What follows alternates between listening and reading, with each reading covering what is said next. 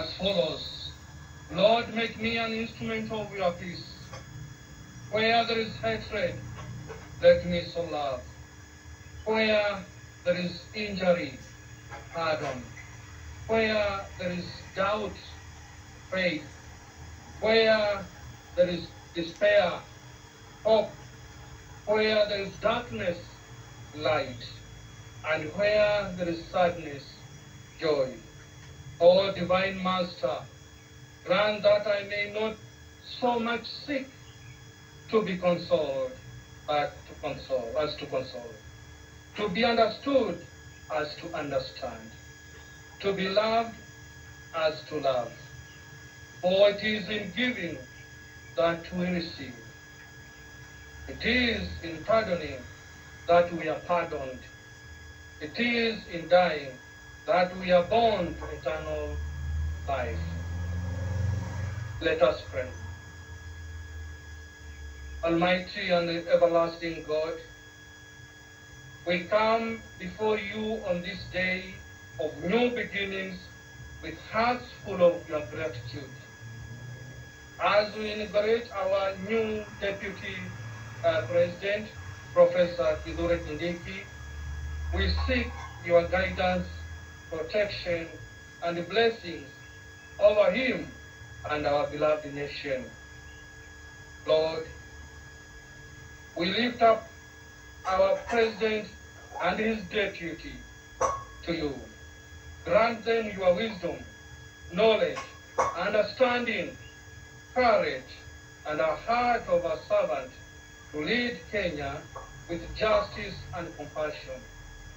Surround them with your presence and guide their, I mean, uh, their every decision for the good of all Kenyans.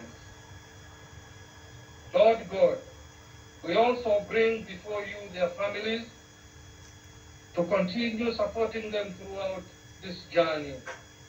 May they be strengthened, protected, and be filled with your peace. Let their, uh, let their homes be places of comfort and rest, where love and unity prevail. We thank you. We, we pray for the cabinet may, uh, and all who will serve along, alongside our leaders. May they act with integrity and wisdom, committed to the welfare of our people. Give them hearts to serve selflessly, work together in unity for the progress of Kenya.